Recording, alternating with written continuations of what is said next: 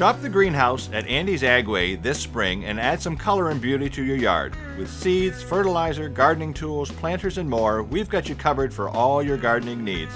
No question. That's Andy's Agway, the friendliest feed store in Maine.